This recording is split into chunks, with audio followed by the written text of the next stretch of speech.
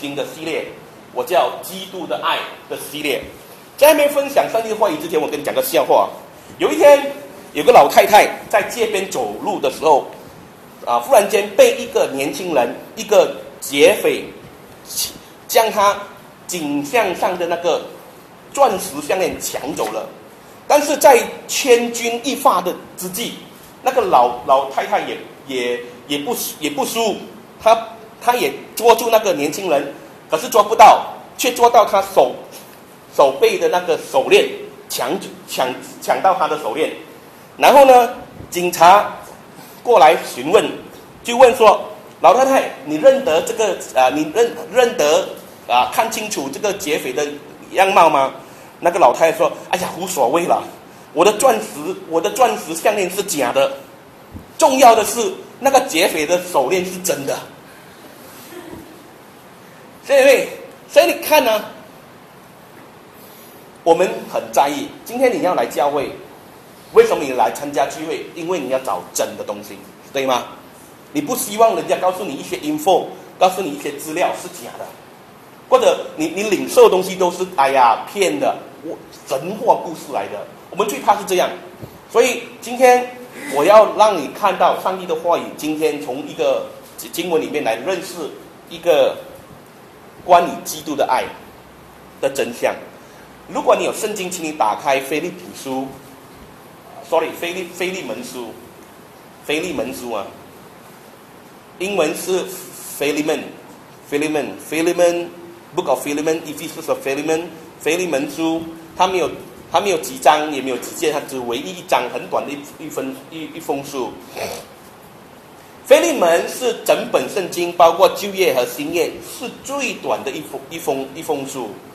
里面总圣经总共有六十六本书，可是这个腓利门书呢是最短的，全长只有二十五节。所以呢，我们从这个二十五节里面呢来看上帝对我们说什么。我来读和合本第一第一节这样讲：为基督耶稣被囚的保罗同弟兄提摩太写信给我们所亲爱的同工腓利门和妹子亚菲亚，并与我们同当兵的雅基布，啊，以及在你家的教会，愿恩惠平安从神我们的父和主耶稣基督归于你们。我祷告的时候，常啊提到你，提到你，常为你感谢我的神，因听说你的爱心，并你向主耶稣和众圣徒的信心，愿你与人同同所同有的信心显出功效，使人知道你各样善事都是为基督做的。弟兄啊，我为你的爱心大有快乐，大有安慰，因众圣徒的心从你得到了畅快。第八节，我虽然。靠着基督能放胆吩咐你何宜的事，然而像我这有年纪的保罗，现在又为基督，啊，基督耶稣被囚的林肯，凭着爱心求你，就是为我在捆锁中所生的儿子亚尼西姆，求你，他从前与你没有益处，但如今与你我都有益处。我现在打发他亲自回到你那里去，他是我心上的人。我本来有意将他留下，在在我为福音所爱所受的捆锁中替你伺候我，但不知道你的意思，我就不愿意这样做。叫你的善行不处于勉强，乃是处于甘心。十五节，他暂时离开你，或者叫你永远得着他。十六节，不再是奴仆，乃是高过奴仆，是亲爱的弟兄。在我实在是如此，何况是你呢？这不居是按肉体说。啊，是按主说十七节，我若我你若以我为同伴，就收纳他，如同收纳我一样。他若亏负你或欠你什么，都归在我的账上，我必偿还。这是我保罗亲笔写的，我不用对你们说，呃，对你说，连你自己也亏欠于我。二十节，弟兄啊，望你使我在主里因你得快乐。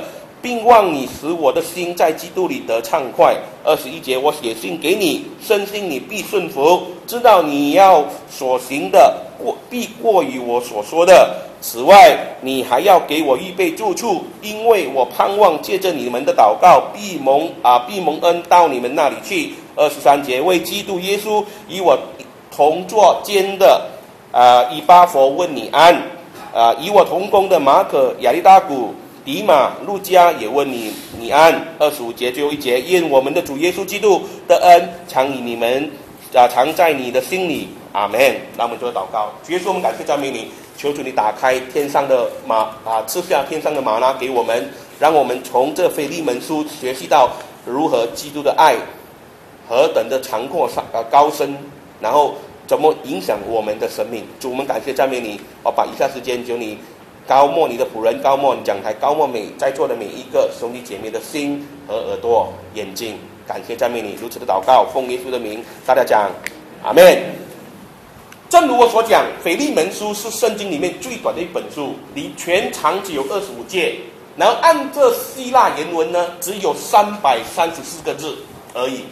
我以我们中文的字眼，包括标点符号呢，总共有八百零七个字。如果有空，你慢慢去算啊。我是用电脑来算的啦啊啊！如果你有空，你慢慢去算。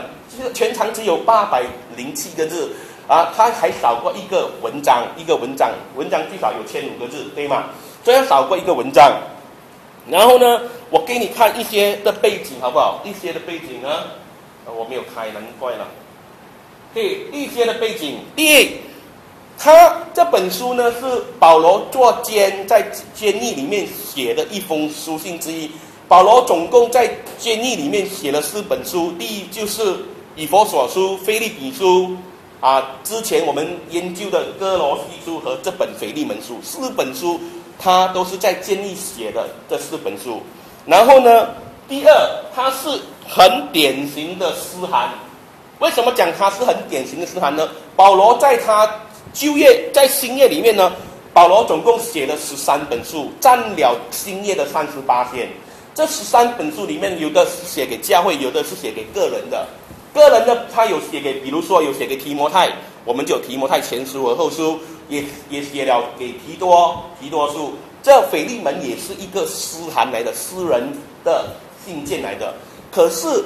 如果你相比这三个私人信件哦，提多和提摩太呢，起码在里面都有谈谈及到教会的事物。可是刚才我们读的腓利门书完全没有提到教会，也完全也没提到，这是很个人、很个人的书信来的。今天你问我牧师，为什么这样个人的书信会放在圣经里面呢？到底上帝要对对这个个人的诗函，对我们讲些什么呢？所以我也看得很重要，在过去很多的伟大的解经家都看腓利门为一柜很宝贵的珍珠，因为里面藏了很多的很多很多高深奥秘和智慧在人啊在里面，上帝的智慧和一个上帝啊就是基督徒该有的智慧在里面，所以我们今天来查考。还有啊，刚才都讲了，它是一一封请求书。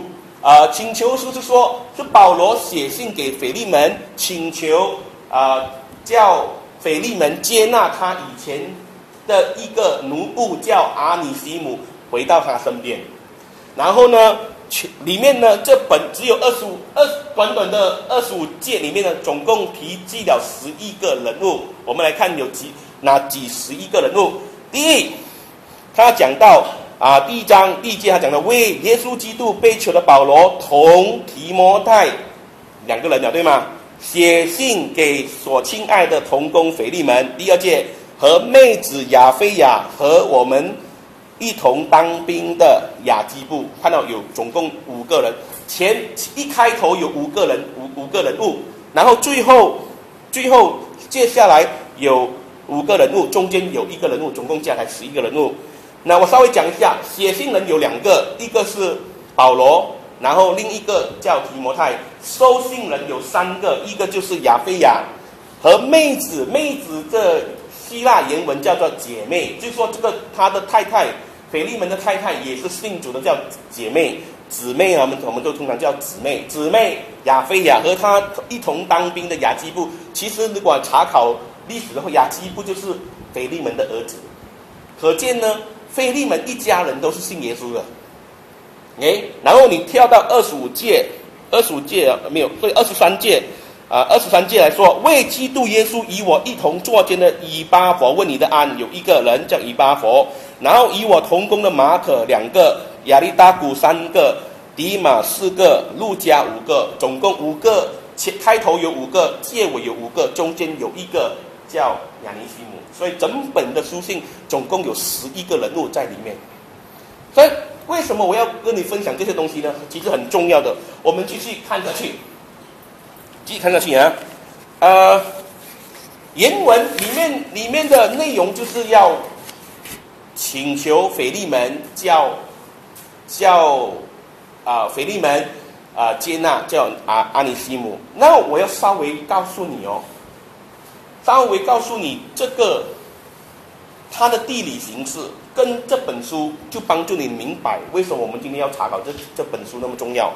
其实哦，刚才说刚才我们讲腓利门住在啊，腓利门是一个人，不是教会来的，不要误会。腓利门住在那里？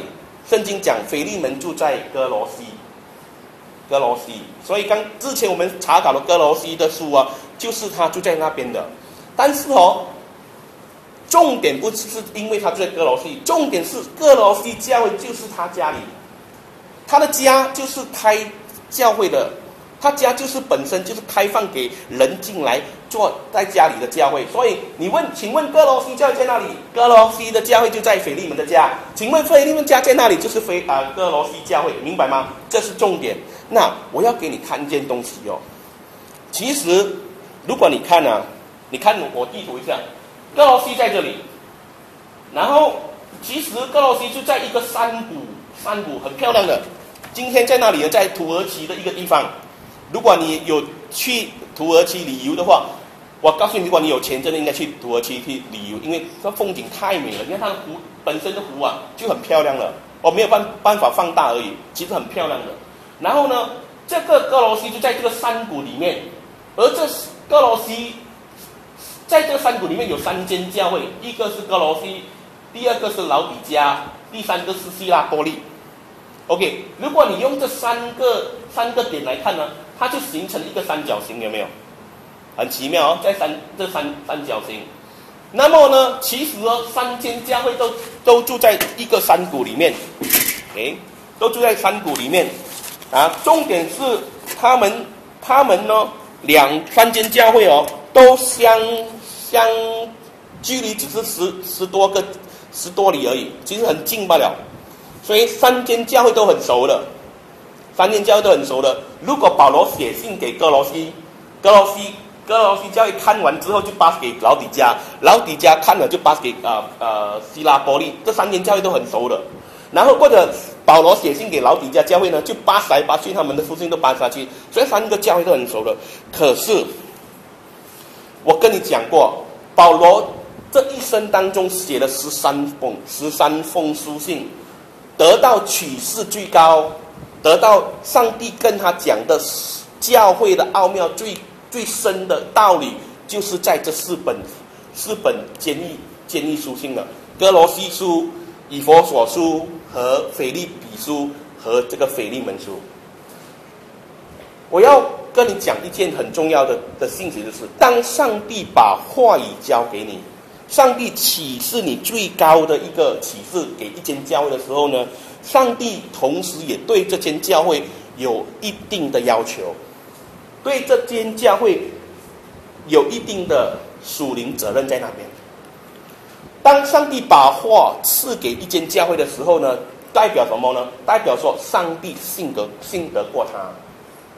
可是以今天的地理形势来来说，如果你回到德基土耳其这个山谷里面呢？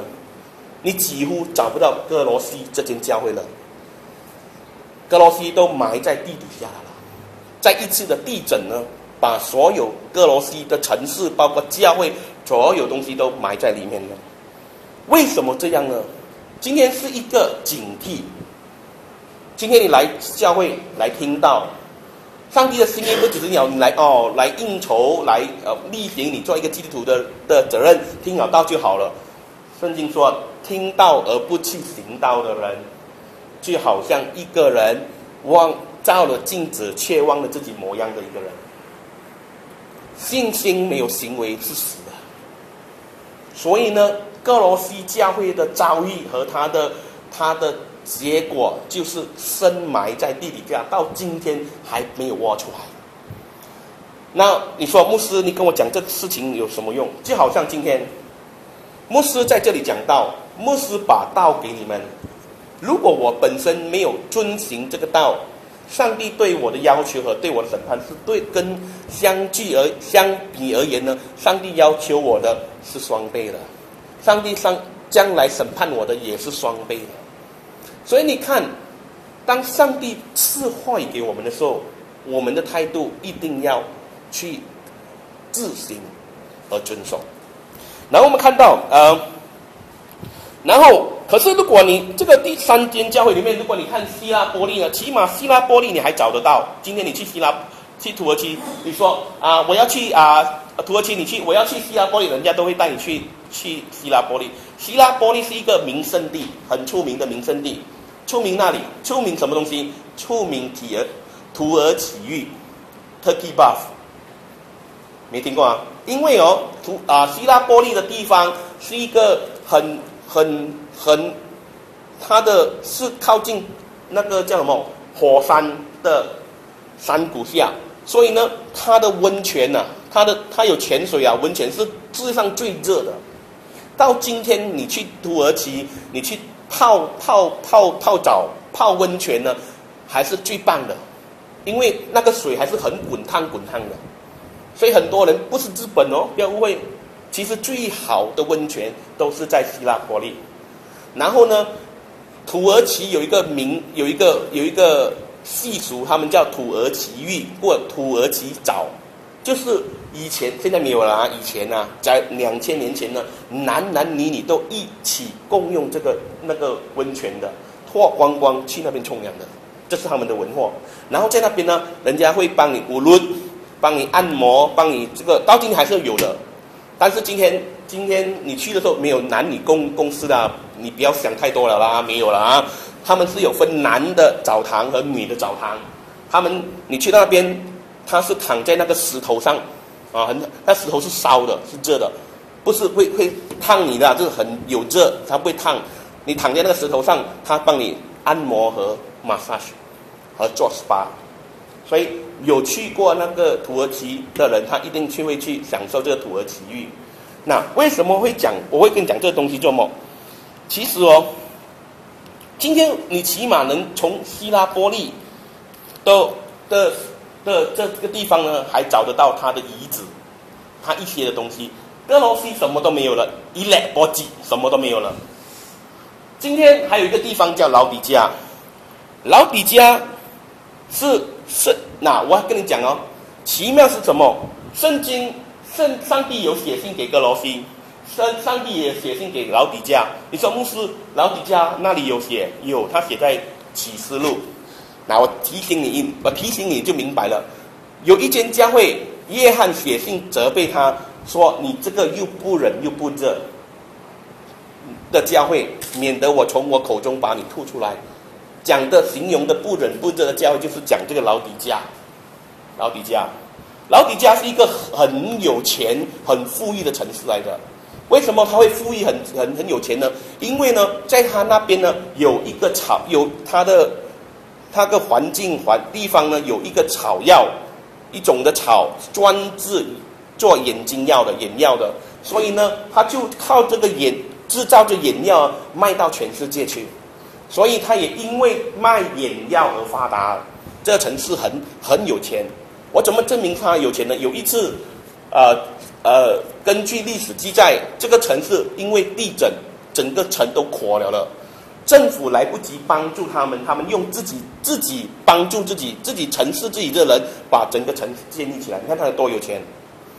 但是如果你不要忘记，约翰责备这间教会，他说：“你们这个教会，其实你们你们是富足的，可是你们是瞎眼的。”用你们、你们用你们的钱去买眼药吧，你看多讽刺！这这间教会、这个地区、这个地方，这卖专卖眼药的，却不能医治自己的属灵瞎眼。上帝叫他们去买，用钱用他们钱去买眼药来医治他们的瞎眼。今天老底家教会也也沦陷了了。也找不到他的教会。起码你还可以找一些些的遗址，比如说他的罗马的戏院还有在，他的公共澡堂就是那个洗澡的地方还有在，哥罗西完全是看不到了。他好一点了，哥罗西完全是弄不见了了，这边还有一点点，希拉波利还完全来保留。为什么呢？因为这三间教会，哥罗西有上帝有写信给他，老底家上帝有写信给他，希拉波利上帝没有写任何信，所以他的审判是最最轻的。所以你看到，我们从这个地理形式，我们可以学一道东西。当我们认识上帝的话语的时候，你要学习遵守，要不然审判在你身上是最大的。OK，我们来看，接下来我们来看，呃。啊，我们主要的一个人物叫做腓利门。我们看腓利门是怎么样的一个人呢？好不好？腓利门是怎么样一个人？圣经告诉我们说，啊，保罗写信给他，是为了向他求情，叫他接纳亚尼西姆。然后呃，因为呢，亚尼西姆是保罗在困锁中所生的儿子，就是说，表示说呢，亚尼西姆。现在呢，已经信主得救了了。以前不是，现在已经信主得救了。我们知道，啊，亚尼西姆是一个奴隶。以前在当时的两千年的社会啊，奴隶制度啊，是一个很盛行的一个制度来的。可能今今天我对我们来讲是没有什么没有什么概念哦。你请问你家里有奴隶吗？没有了吗？我家里都也没有奴隶，我都是做人家人家的奴隶比较多。是吧？今天没有奴隶啊，可是你不要忘记，如果你读历史书啊，奴隶制度在十八世纪末和十九世纪初才完全的瓦解。所以瓦解这个奴隶制度，美国的林根总统是吗？你们有读书，你们明白，你们知道。但是圣经早在两千年前呢，保罗已经处理这奴隶制度的一个问题了。我们来看，在当时罗马帝国，总共整个国家总共有六千万奴隶，很多。为我要为什么要把这个数目就告诉你呢？因为呢，真正罗马公民啊，当时在罗马的所有的公民啊，才不过两千万罢了。公民有两千万，他们的奴隶有六千万呢，恐恐怖吗？可怕吗？如果这个这些奴隶一造反呢，整个呈现呢，整个罗马帝国，整个罗马城就沦陷了。所以呢，在当时我要给你看见奴隶奴隶帝国奴隶制度是一个怎么样的一个制度哦？啊，奴隶来讲哦，是等于是主人的身上一个零件，没有价值的，主人不会把它当人来看，当当。他只会把它当的是身上的一个私产，是一个可以任人摆布的棋子，怎么样？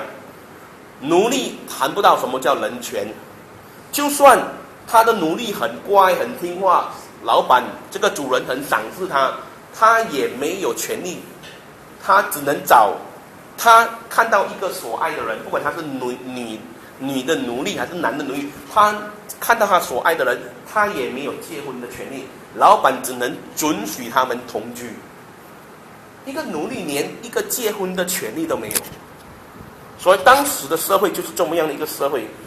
那我们讲的奴隶，阿尼西姆就是这么样的一个奴隶。那么今天重点我们要看这个主人是怎么样一个主人。圣经说腓利门一家，圣经说，呃，呃。阿尼西姆就是这个菲利菲利门家里的奴隶，不是别人的奴隶。因为腓利门为什么腓利门要讲这个东西呢？因为腓利门是保罗的同工，保罗本身没有去过哥罗西。那么腓利门怎样信耶稣呢？腓利门可能在做生意，他是一个很有钱的生意人，因为他家是开放给做教会的。他可能去经过以佛所经商的时候，听过保罗讲传讲福音，因此。来接受耶稣，后来他也带领他的妻子和儿子亚基布和那个叫亚菲亚一起来信耶稣。可见呢，腓利门这个家庭呢是一个蒙恩的家庭，整家人都信耶稣的。就是说呢，千千万万的主人的里面呢，这个家庭是信主的，这个家庭福音老早就进入他的家了。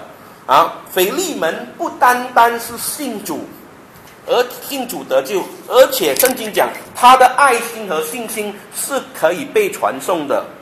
我们我们看到看到说证明说，听说你的爱心，并向主耶稣众圣徒的信心。保罗在哥在罗马城和非哥罗西的相相距有一千多里以外，千里以外。连保罗都听见他的爱心和他的信心。我们可见这个腓利门不是一个普通的基督徒，他是一个虔诚的基督徒，是充满爱心和信心的人，是每一个人家户户小、眼近的人都知道腓利门这个人。是怎么样一个人。他是一个有好见证的一个人，他的生活和生命是有直接影响人。的人。他是一个开放自己的家做教会的一个有属灵的人，直到保罗能够这样的称赞他来形容他。那我告诉你，如果你读你熟读保罗书信，你很清楚知道保罗是一个不是很喜欢夸张讲话夸张的人来的。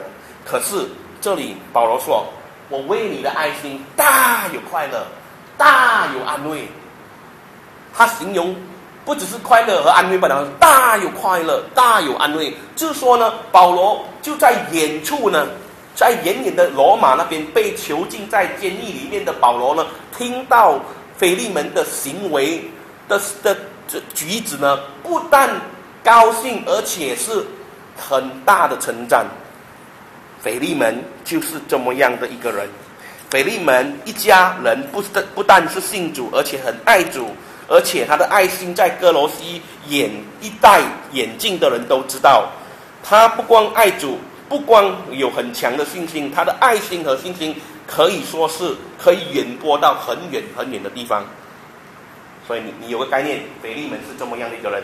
我们接下来看另外一个人，豪奴阿尼西姆。阿尼西姆是怎么样一个人呢？阿尼西姆圣经说，在这个奴隶制度里面呢，阿尼西姆是在这样的家庭做奴隶的。不过很可惜，有一天他逃走了，什么原因我们不知道。但是他逃走肯定跟钱财有关系，他可能偷了主人的东西，很贵重的东西，叫主人呢在财务上有一些的损失。他就跑到很远很远的罗马去了。到了罗马，他可能从此以后不用做一个悲过一个悲惨的生活，因为他是个奴隶，终于自由了了，离开主人的管辖，离开主人的那个辖制，他已经来到罗马，他可以做一个自由人了了。他以为来到千里以外的罗马已经很安全了了。如果他在哥罗西，可能他主人还会找到他。他逃到罗马去，以为。神不知鬼不觉，人也没有人会找到他了。可是万万没有想到，在这么大的城市里面，没有人找到他，但是圣灵找到他，但是上帝找到他。上帝在亚尼西姆的身上有做一个很奇妙的工作，就是要亚尼西姆亚尼西姆得到这福音。那我们说有一个人，刚才我们讲的那个十一个人物，有一其中一个人物叫以。以巴佛，圣经讲以巴以巴佛呢，跟保罗一起坐监的，一起坐在监牢里面的。那保罗为什么要做监牢？保罗是为了要传福音，传的福音，当时的社会，当时的政府不准他到处传福音，结果把他监一监监禁了。那根据当时的律法，以巴佛。代表以哥罗西教会去探访保罗，问保罗的安，问安保罗，然后想要照顾他，伺候他。根据罗马的律法，你不可以伺候或者照顾一个监啊监监怎么讲囚犯，除非你愿意跟他一起坐牢。我很感动，如果一天我坐牢的时候，不知道谁愿意陪我一起坐牢。伊巴佛就是这么样的一个人，他是由哥罗西教会派出来的，然后跟他为了要伺候照顾保罗，跟保罗一起做监牢。可是我们讲回这个阿尼西姆，亚尼西姆去到罗马的时候呢，被谁遇上了？被伊巴佛遇上了。那你说牧师啊，伊巴佛遇上也没什么大不了嘛？你不要忘记，伊哥罗西教会就住在以就住在腓利门的家，所以伊巴佛不可能不认识亚尼西姆。结果亚尼西姆就劝啊，所以啊，以巴佛就劝亚尼西姆把他领到保罗那边，保罗就在那里传福音。那当下亚尼西姆也接受了耶稣。也接受了耶稣，这就是我们来看福音的大能。我们来看，我有个差的是吧？关键，我们有亚尼西姆逃跑，从主人的啊那边逃跑，跑到罗马去，然后来到罗马，罗马就遇到保罗，保罗把福音传给他，然后他就成为保罗的属灵儿子。然后啊，保罗也成为亚尼西姆的属灵父亲。别忘记，保罗曾经也曾传福音给腓利门，腓利门也是他的属灵儿子。这两个人，不管不管是主人还是奴啊奴仆，都是保罗的属灵儿子，都是保罗带领他信耶稣的。所以我们来看，在这个奴隶制度的的的的帝国的世界里面。上帝如何用借着福音和福音的大人改变这两个主人？如果在两千年前，如果你要随便随便的释放一个奴隶，你就等于要撕裂整个社会的秩序。所以你要明白，保罗在处理一件很侧很侧手的问题。搞不好呢，会搞到自己遍体鳞伤的。我们来看福音的工作如何在两个人身上动工，而没有影响当时的奴隶制度呢？我们来看，啊，这个福音的大能，圣灵现在要做一件事情，这里有个制度，就奴隶制度。这个奴隶制度，我们知道它是违反圣经的，因为奴隶制度不把人当人看。圣经讲，我们每一个人都是按着上帝的形象造的，所以它是违反圣经的。你看保罗怎么样看？保罗怎样处理？我们要来看今天我们所传的福音是怎么样的福音？福音老早在两千年前，林肯还没有出世之前，已经在处理这奴隶的奴隶的一个一个问题了。首先呢，圣灵先在腓利门的身上做工，他先改变这个人，他先改变这个人。自从腓利门蒙恩得救以后，我相信亚尼西姆一定有感觉的，他他会看见，虽然腓利门仍然是我的主人，可是这个主人呢是全新的主人了。他以前是拜偶像的，以前是不认识神的。从前的腓利门是怎么样一个人呢？亚尼西姆清楚得很，了解得很。今现在，不关腓利门已经是得救了了，亚尼西姆也看到呃，上帝圣灵如何在这个腓利门的家做工，如何的做工。他看到有一大批的基督徒去他的家聚会，人来人往的。在亚尼西姆的眼中，不可能不认识。上帝如何做工在这个家里？兄弟妹，这是福音要做的。刚才我说，腓利门的爱心和信心是可以被听到的，眼镜的人都知道。我相信他的圣名，他的爱心和信心，可以远播到远在罗马的，连阿尼西姆也听到。我的主人现在已经蒙恩得救了，已经信耶稣了，不像以前的主人了。那个奴隶制度没有改变，福音怎样去改变当时的情况？他没有改变奴隶制度，他将这个主人改变了。所以我们知道这个福音就是所要做的工。腓利门书不只告诉我们腓利门得救了了，不只告诉我们腓利门有爱心有信心，眼镜的人都知道。腓利门也告诉我们，圣灵还要在奴隶制度的另一端，也就是阿亚尼西姆身上做工。而这个奴隶啊，这个奴隶啊，是离开了他的主人，他还得罪了他的主人，还亏欠他的主人，然后逃之夭夭到遥远的罗马去。他以为这一下可好了，我自由了了，后悔啊，我不用再受辖制了了。那当时罗马罗保罗在罗马被囚禁，其实。保罗的囚禁是严格来讲是软禁，因为因为保罗传福音嘛，所以罗马政府不准保罗传福音，他就派一队的兵马日夜不停的看住他，他用锁链锁住他的手，一条锁链一端是绑着保罗的手，另一端是绑着啊罗马兵丁，是二十四小时看管着，他有自由。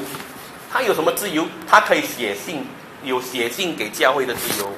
可是他也没有自由。他为什么没有自由？因为二十四小时都有人盯着他，他没有我们今天讲的吸氧权、私隐、私隐权。他也没有他自己的私隐，他大便小便都有人看着他，他连咳嗽一下也有人看着他。所以保罗是被捆绑的。你可以问我牧师啊，保罗为了耶稣基督被关在监狱里面，没有自由。现在拿阿尼西姆为了他的自由而逃亡，逃到罗马去。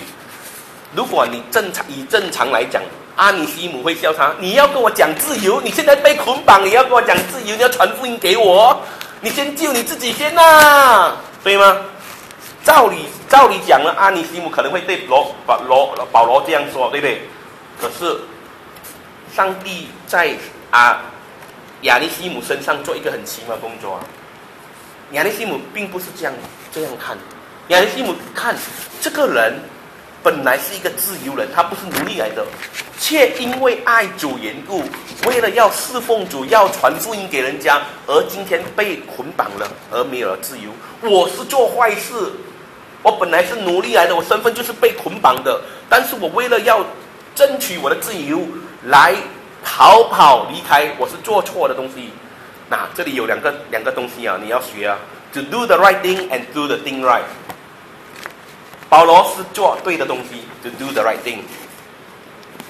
亚尼西姆是做错的东西，to to do the thing right。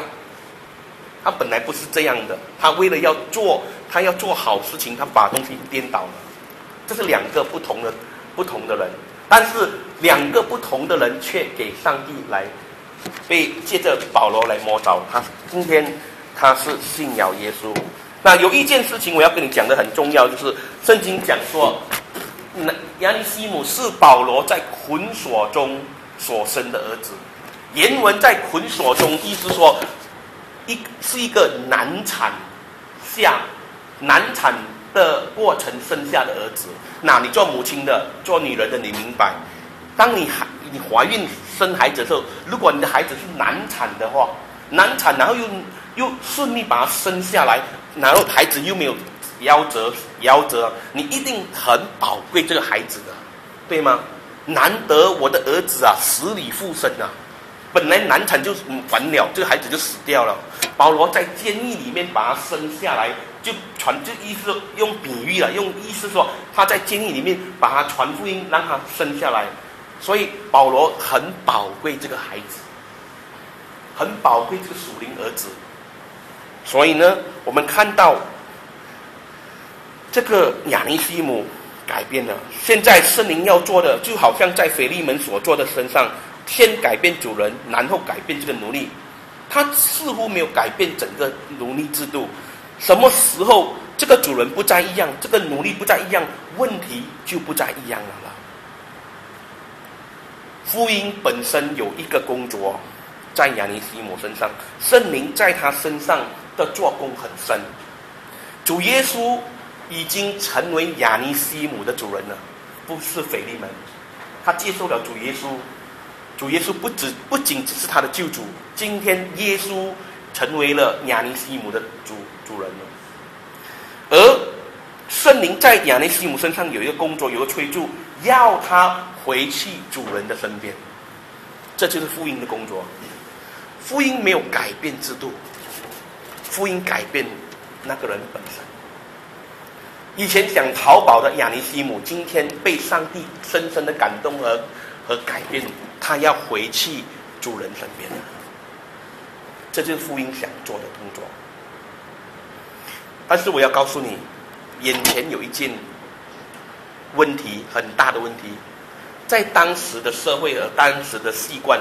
一个奴隶逃跑的话，他会接受的惩罚有两个：轻轻的话，轻判的话，如果那个奴隶被抓回来的话，那个主人有权利用一个铁烧得滚烫滚烫，然后烙印在他的额头上，让人都看到他他是曾经逃过的，以后没有那么容易被逃了。这是轻判，严重的话。会，他有权利把他的这个奴隶呢钉在十字架上而死亡。所以你要明白，兄弟姐妹，阿尼西姆是要冒着冒险回去的。什么力量使到他愿意回去呢？这就是基督的爱。他以前是做错了了，他偷了主人的东西，然后逃跑了。今天福音的大能和福音的工作，在亚尼西姆身上是有。印记的，这个人改变了，这个人愿意回到主人的身边，所以你现在明白为什么保罗要写腓利门书，要写信给腓利门，向腓利门求情，你接纳亚尼西姆。所以你看整个信件里面呢，我们看到一个很深的一个圣圣灵的工作和福音的大能，在一个人身上改变。我们看到保罗说：“这是我的孩子。”如果你今天用今天保罗所讲的话，人家会觉得很给力的。他是我心上的。保罗说：“亚尼西姆是我宝贵的儿子，是我捆锁中所生的儿子，他是我心上的人。”只有你跟你女朋友说你是我心上的人，你不会讲那个人呐，你的朋友是我心上的人。今天。我们看到保罗对亚尼西姆，虽然在别人眼中，亚尼西姆是一个没有益处的人，是一个奴隶，是一个任人摆布的棋子，是一个没有用、没有价值的。但是保罗说，这个人呐，是我心上的，这个人呐，是我捆锁中捆锁中所生的儿子来的。保罗不是一个很矫情的人来的，不是一个很滥情的，随便讲我爱你啊，我心上人，不是一个随便的。但是在这个点上，他把这个亚尼西姆的身份转变了。他说他已经，他已现在已经不再是奴隶了，兄弟姐妹，他他已经是高过奴隶了。他是我亲爱的弟兄，是我捆锁中所生的儿子。生在在保罗的心目中，在保罗的心上呢？这个亚尼西姆是有地位的，有重担的，所以我们看到圣灵在两个两主人和仆人的身上做了奇妙的工作。上圣灵改变了主人，圣灵也改变了奴仆，所以根本不用那个制度根本没有换到，但是却解决了当下的问题。